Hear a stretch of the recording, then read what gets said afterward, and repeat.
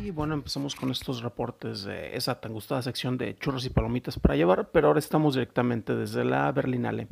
Y bueno, ¿quién tiene dos pulgares y consiguió colarse a la premiere de este magno evento precisamente para la presentación de eh, Nadie quiere la noche? Pues este tipo no, desafortunadamente no pude conseguir boletos, sin embargo pudimos acudir a la otra función que estuvo paralela, que es de Sangre Azul. Esta película da apertura a lo que viene siendo la sección de, déjenme lo busco rápidamente, de Panorama, lo cual es un cine un poquito más experimental, no es el que está en competencia directamente en esta categoría grande, sin embargo, pues este, se ven cosas de repente más interesantes, o eso decimos los que nos alcanzamos a colar esta función. ¿De qué trata? Bueno, es una película brasileña, el director es Lirio Ferreira y es este, bastante interesante. Es básicamente el regreso de una persona eh, que actúa en espectáculo de circo, circo como esos de los que tenemos en México sin animales, como ustedes saben, gracias Verde Ecologista, y eh, regresa con este circo a su pueblo, bueno, más que a su pueblo es a su isla, eh, que está ubicada ah, cerca de Brasil.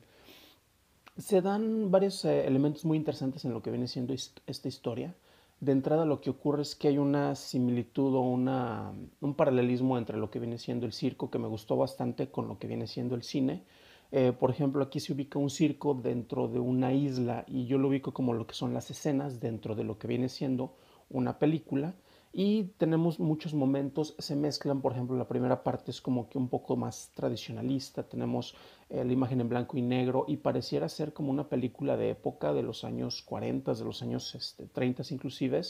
Eh, cambia el estilo de la fotografía conforme va avanzando la película, de repente tenemos eh, mucho mayor colorido, algo más característico del cine latinoamericano, del cine brasileño e incluso del cine mexicano y después tenemos algunos brincos que van pasando y esto se refleja de manera muy interesante en lo que viene siendo la fotografía con ángulos muy poco eh, convencionales. De repente tenemos escenas donde tal vez podamos ver la cámara así o inclusive de esta manera, pero eh, el resto de la narrativa es consistente con esto y el mismo director, eh, el cual estaba, tuvimos una sesión de preguntas y respuestas con él después de lo que vendría siendo la proyección, el mismo Lirio explicaba que no sentía que dentro de la historia se pudiera limitar estrictamente dentro de los patrones básicos de la imagen, si a final de cuentas en la historia te permite explotarlo.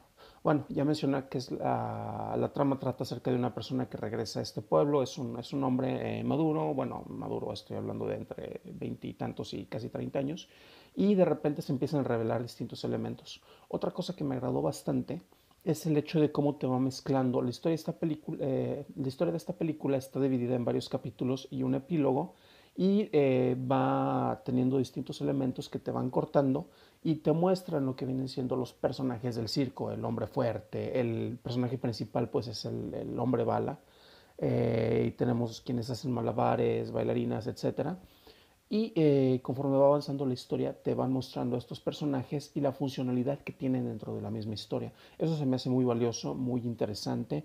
Todo el juego de fotografía y de iluminación va de acuerdo a esto.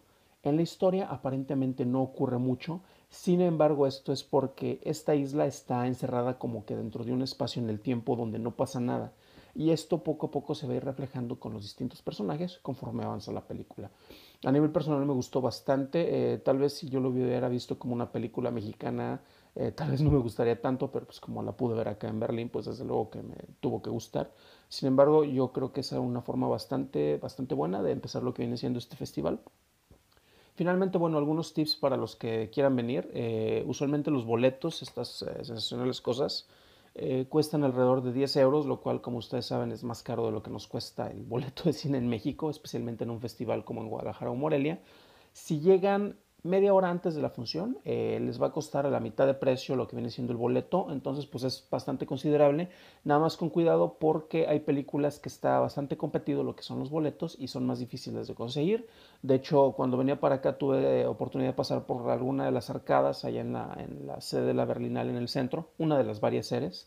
En este caso, bueno, yo tuve la oportunidad de estar en, en Cinemax, eh, la película que yo les eh, he estado mencionando y creo que no les he dicho el nombre hasta este momento que se llama Sangre Azul Eh, estuvo en cuatro salas, de hecho estuvo presentándose en más salas que la película que inauguró el festival. Que, ¿Cuál fue esa película? La de Nadie quiere la noche con mi novia Juliette Binoche.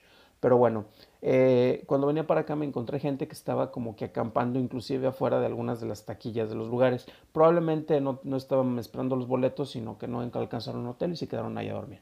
Pero bueno, con esto terminamos el primer reporte de churros y palomitas para llevar. Eh, creo que esto sería como la sección Blitzkrieg porque es así como ataque relámpago y es de las pocas palabras en alemán que sé. Y con eso terminamos.